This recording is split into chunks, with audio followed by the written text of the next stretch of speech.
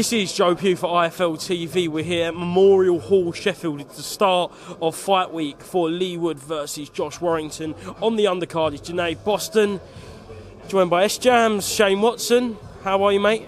Good, mate. Um, I like this little venue, Memorial Hall. Um, the press conference here for the last one.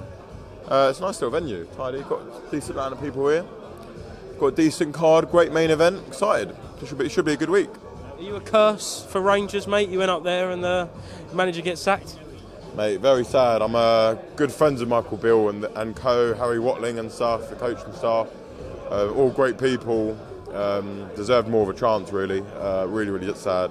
Where they got me tickets for the game as well, took me to the training ground and that. Is that the only reason why you're saying all this? No, no, seriously, deserved time. Like they and when he was at Celtic, he lost like his first few games, needed time, and now he ended up being a great manager. Like At Celtic?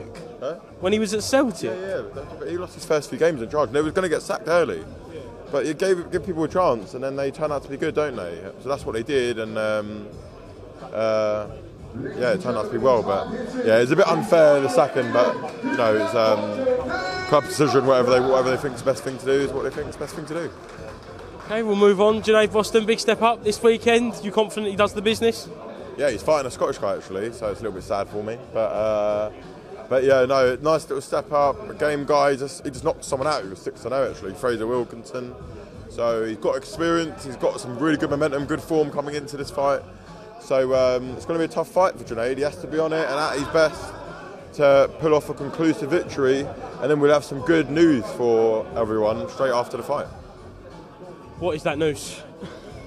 I'm not going to say much until um, the fight's over. He's got a fight to focus on first, and uh, I want all the focus to be on Corey McCullough because if he's not at the races, it's gonna it's gonna make it a very hard night for himself. We'll take you back a couple of weeks now since Joe Joyce suffered that defeat. I think it's your first interview that we've done since he uh, suffered that defeat. Uh, just taking some time to think about, look at his performance. What are your overall thoughts? Yeah, um, watched it back um, a few times now. Doesn't get any easier the amount of times you watch it back, as I've found out. But um, look, there's not really a lot to dissect here or to look into. It only went three rounds.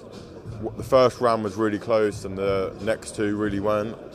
Um, I just think, and I agree with a lot of what I've seen online. I think Zhang's probably just answers everything Joe can do to an extent. I think he just kryptonite in a way.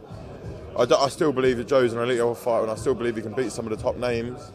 I just think fighting Zhang is just not good for him, really, and I have, I have to take part of the blame for that as well. And I'll admit that maybe we we should have looked a bit more into that before we did it, but it's a difficult uh, decision to make when you no one wanted to fight Joe, everyone wanted stupid money that wasn't available, and the only other thing is we believe Joe's an elite level fighter, and if you're an elite level fighter, you would believe that he could have beaten Zhang before. We didn't see a lot from Zhang that would have said that he could beat Joe previously.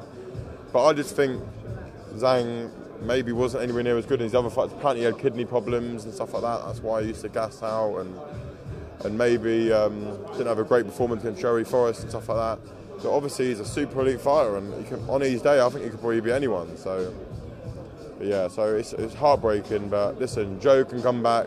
He can still compete at, at a high level and he can still be in great fights. He hasn't become bad overnight. He hasn't become chinny, as I've been seeing some ludicrous people say online. You know, he's just got caught with a monster of a shot. And I'll be honest, right? When he got up, he was actually okay, yeah? And in the dressing room before, Gray said if he got up at eight, if he ever goes down, it'll be fine to carry on the fight as long as he's not hurt and stuff like that. He wasn't. He was fine. It looked. I get why it looked bad to begin with, though. He looked disorientated in the ring. If they stopped the fight when he was on the canvas, I wouldn't have moaned about it at all, right? But because um, it looked like he was out cold, right? But if I don't understand why he then let him get up. He asked him a question. He then answered it fine, and then stopped it. But do you know what? Do you think it's a bad stoppage then? I don't. I wouldn't go as far as bad. No, I wouldn't go as far. as Questionable. Yeah, yeah. But then again, I actually was saying to my mum and dad um, earlier today. In a way, I probably am happy that they stopped it because Zhang wasn't slowing down. He didn't look like he was going to gas. and maybe it would just happened a lot worse in the next round. So because it was, and the other thing I was going to say because it was right at the end of the, near, right near, I think it was like 10 seconds left or something like that. But listen, hindsight to things, Zhang deserved to win. He deserved to win both fights. By far the better fighter. fighter. Out of both fights, I believe that we won a maximum of three rounds. So. Um, yeah, so you have to give credit to Zhang. Would Zhilei Zhang beat Filip Hrgovic in a rematch? 100% he won the first one. And actually, even worse, he would definitely win in a rematch because he's got way better since the first one. And that's it. And like, Hrgovic Shunzan hasn't looked overly impressive, but listen, at the end of the day, Hrgovic put, put up a better fight than what we did, so I'm not going to sit here and slate Hrgovic off at all. Would Zhilei Zhang beat Anthony Joshua? I believe he would. I believe he would. Problem is of that is Joshua. I'd say he's, got, he's not got. He's, he's adapted a bit and he's got decent natural movement. So that could cause some problems for Zhang, but I do believe that Zhang, especially in the current mindset, what it looks like to be current mindset of Anthony Joshua, I believe Zhang would win. I believe Zhang could beat anyone at his best. Usyk? I believe at his best he probably could. It depends how, if, if he can get if he can get to Usyk early, but mate, he can punch really fast as well. That's the, that's the issue. But mate, it's, it's definitely. He, I don't think he'd be a massive underdog in that fight. No. Right, we're going to move on to some comments that I know have frustrated you in the past two weeks. It's fair to say. I'm going to start off with John Fury. He done uh, an interview, I think, with Seconds Out. He questions the management of Joe Joyce credentials, and he said, I think his words were they don't know what they're doing. Um, I might be wrong with those words, but something in and around that. Can I just get your reaction to John Fury's comments first of all? Right. Well, the thing is, right, and this is boxing, right? Everyone's got an opinion and whatnot. Some people are entitled to it, and some people really don't know what they're talking about, right? So let's just get it straight with John Fury. John Fury wasn't in any of the meetings that we had with Queensberry, right? So how did he know what the bad management was? How did he know the options that we had? How did he know the money that Joe's been earning? He knows none of those things. So we can't possibly comment on the management decisions, right?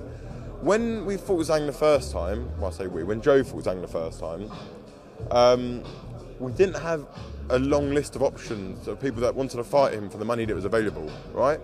The only option we wanted Wallin, we wanted loads of other good guys, but they outpriced themselves. It's just a fact, yeah. The only guy, and credit to Zhang by the way, I have the utmost respect for him. The only guy that would accept it, by the way, which was still for a large sum of money, by the way, was Zhilei Zhang. And it had to be someone in the top 15 of the WBO. People forget this, yeah. Otherwise, he wouldn't keep the WBO interim title, which was the, which was all of the power that Joe had. Um, yeah, and the only one that we could fight was Zhilei Zhang. Like simple as that.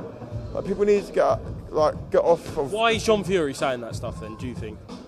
Because he just looked at it on paper and thought, "Oh, that's a terrible fight for Joe." He wasn't saying it before the fight, though, was he? Was he saying it before the first fight? It's easy to say all that stuff afterwards, isn't it? So easy to say it afterwards, but you weren't saying it before. So everyone can have that opinion afterwards, can't they? Like, I ain't being funny. He should focus on like he talks about Tommy and how his family's killed. I mean, Tyson Fury is obviously one of the best of this generation. Like, but like, he, beat Jake Paul in a split decision and got dropped by Jake Paul. I think he should be worrying about more things like that rather than worrying about Joe Joyce's bad management decisions. At the end of the day, you can only comment on things if you actually know the full facts. He wasn't there in the meetings. He wasn't there when um, when the, we spoke to the trainer about how he thought uh, Zhang Zhang fight would be for Joe. Remember, we're also not the trainers. We don't prepare for the fight. We don't prepare the fighters to fight that style. We, well, this is not me putting the pressure on us, by the way, but we go to the trainer with the fighters, and they come back to us with the information on what and how they think Joe can beat them, and if it's the right fight for them. Yeah, we are not the trainers that make decisions on if the style was right for that fighter and things like that. We have our opinions, yeah, but the trainer's always going to have the best opinion, especially when one's uh, a Hall of Famer and, and had one of the most world champions of all time like question management and whatever. Like Joe's earned a lot of money. He's going to earn a lot more money. He's achieved a lot in a very short space of time. Yeah, with a short amount of fights. He can say whatever he wants at the end of the day, but he doesn't know the facts. That's simple. That's simple at the end of the day. Do you believe Joe Joyce will stay with Ismael Salas? I can't really comment on it right now because there's a lot in, there's a lot going on. There's a lot in play, but There isn't a problem at all with Salas at all, but we've just not anything. We've just not discussed it because Just maybe exploring other avenues. I, I wouldn't even go that far because the problem is Joe's gone on holiday to, um, to the other side of the world for a while.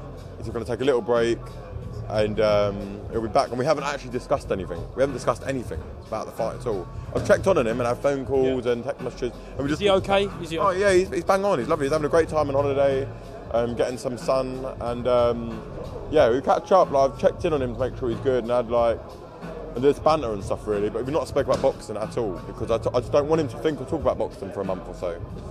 Right, finally, Tony Bellew. Um, I think everyone's seen his comments by now, and everyone's had opinions on his comments about Joe Joyce, British level, would he struggle with Fabio Wardley? Um, first of all, when you heard those comments, what was your initial thoughts? I've got to be honest, and this is probably where my experience, like where I lacked a bit of experience. I was really angry when I first heard it, really angry, like fuming. And I was like phoning people up, what's this about? Like, it's just crazy. It was crazy. Like, and it still is crazy, by the way. I stand by that for sure. But, um, hey, I just find it so disrespectful. Like, do you know what? Tony, it annoys me even more because it is Tony, right? This is a guy who is a proper boxing man, proper boxing man, ex-world champion, won every every other title there was, British, Commonwealth, fought Ovill McKenzie, like European against Masternak, I believe, like fought at the highest level. And he's a big name in the sport, right? And he's got a lot of influence as well. And he's coming out with comments like that. And there's no way he believes that. There's no way he believes that. Why would he say it then? If I said it, it's just going to get me into trouble. But the, No, why would he say it? it's politics probably more than anything. But politics. But I don't like break it down, right? And this is no offence to Fabio Wardley because Fabio Wardley is a very, very good fighter, and actually he inspires me a lot actually because he's coming from a similar background to Johnny and stuff like that, and he inspires me to show like how high you can go up, even if you weren't an elite amateur like Joe was and whatnot. But to a guy whose best win was Nathan Gorman, and, and which was a very hard fight for as long as it lasted. And also, had been rocked by Eric Molina, who at the end of his career and things like that. And by the way, which is still a great win for for um, Wardley, because ex-world title challenger who gave Wilder a good fight. So I'm not discrediting it at all. But what has he seen from that to suggest that, he could, that Joe Joyce wouldn't last of him? It is absolutely crazy. This is the guy who only beat Parker 12 months ago, knocked him out as well. This is the guy that's knocked out Carlos Takam, who just beat Tony Yoka, an Olympic gold medalist. Is the guy that's beat um, Daniel Dubois. The list goes on. The list goes on. Like, I can't believe he would even say something like that. It's so disrespectful. Like, even if he thinks that, why would you like put that out there when you know the guy's probably going through a hard time? You know that he's probably got a lot of people making comments about him. Maybe a, a reaching an arm out and checking in on him would be would be nice, wouldn't it? It's like a guy that's obviously probably inspired a lot of people in the game, fought at the at the very highest level. If he's that e- so much easy for a fight, yeah. If he's that he won't British level, he can come out of retirement and fight then in a, in a last pay per view fight for him, and then show us how bad Joe Shin is. Because it's, it's crazy. I Well, find you'd be open for Tony Bellew versus Joe Joyce. mate. Why wouldn't I be? Like, it's a great fight, great, great money fight. But I know I'm only hypothetically talking here. I'm not trying to make like out something like that would happen. Uh, Tony's happily retired and doing a good job in country and whatnot, and and Joe's got to do his own thing, coming back and working on coming back. Um, but I just was really hurt and disrespected by his comments because. Um, listen, Joe Joyce is like a brother to me. Like, we're very close, and um, and I just think comments like that are absurd. I don't mind what other people were saying, like Joe may not be elite level and stuff like that. You can have that opinion because we've had two back-to-back performances that weren't great. Yeah, so I can respect that opinion. That's fine.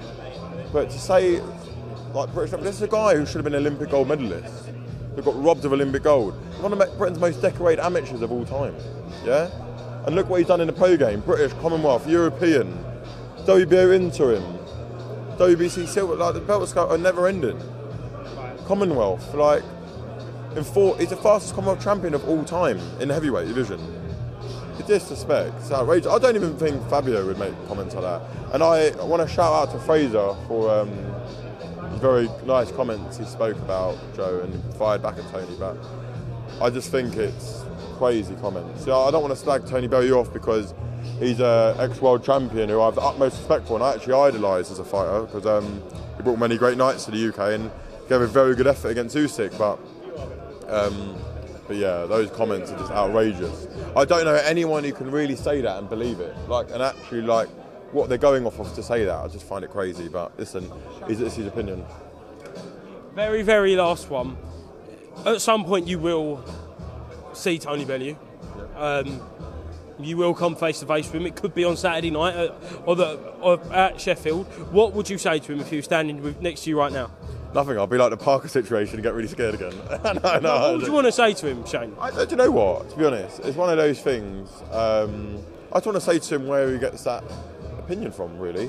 I'm not listening. I'm in no way, shape, or form here trying to start an argument with anyone, especially Tony Bellew, right? Are you scared of Tony Bellew? I'm not scared of him, but if he was angry in my face, I would be. I'd be squeaking big time, and I'd be looking for the nearest matchroom security guy, like, hey, help me. And then when they get involved, I'm like, yeah, come on, I don't know stand behind him. but no, no, I'm in no way trying to start anything. I'm just really disappointed by the comments. That's all it is. It's not, not me being rude, disrespectful. I've got no right at all to be disrespectful or rude to Tony Bellew because that man has achieved milli- uh, like the most amazing things anywhere. Like I don't even know really what to say really to him, but yeah, he's achieved the most unbelievable things. So, and I've the utmost respect for him, but I just think those comments were really wrong and disrespectful, and I don't see how he genuinely believes that because he's got nothing to go off of to say that when Fabio's not competed anywhere near the same level. Excellent. Shane, thank you very much for speaking to IFL TV. I'm sure I'll see you in media events this week and outside of media events this week. Yeah, yeah, I'll be here all week. We've got the press conference tomorrow, weighing on Friday. Uh, and Pop World on Thursday. Yeah, yeah. May, may, may, may, may watch the football or something. And then, uh, and then yeah, we've got the Junaid on Saturday night.